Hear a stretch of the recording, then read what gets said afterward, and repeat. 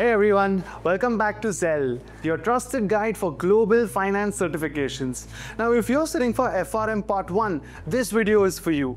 We're going to walk you through section-wise tips to help you handle the most common traps, time management challenges, and confusing phrasing that candidates face during the actual exam. So let's jump right in. Foundations for risk management. Read the final question line first. It often asks about a risk type, governance step, or principle. This gives you a lens while reading. Look for risk manager mindset options. Pick choices that reflect conservatism, accountability, and transparent communication. Basel-based questions. Identify the pillar and link keywords like capital, supervision, disclosure. Most traps mix them up. Quantitative analysis. Calculator fluency is essential. Know how to quickly compute SD, correlation, time value of money, and net present value. Hypothesis testing logic. If P is lesser than alpha, reject the null. Confidence intervals is here on the screen. Do not overcomplicate. Now, here are some of the more common traps.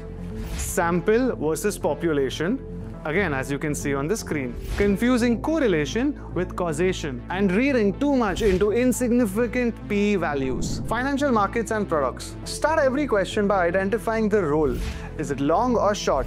Buyer or seller? Fixed or float? These determine everything else. Options logic. Buyer of a call is equal to the right to buy. Seller of a put is equal to the obligation to buy. Structured products. If it's a callable or a puttable, ask who benefits, investor or issuer. Forward futures pricing traps.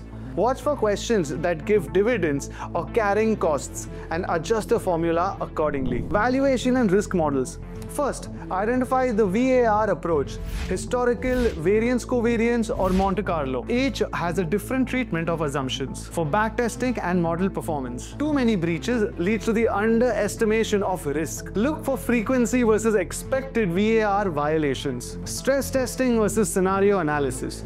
Stress equals to extreme yet plausible.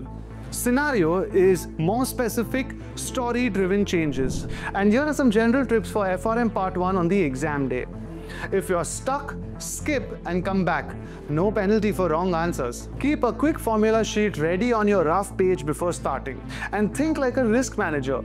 Go with the most ethical, cautious and principle-based answer when in doubt. So guys, FRM Part 1 is all about laying a strong foundation and handling questions smartly on exam day can be the edge that helps you pass. If you found this breakdown useful, don't forget to like, share and subscribe to Zell for more exam day strategies and FRM specific prep tips. Drop your doubts in the comments. We're here to help you clear FRM Part 1 with confidence.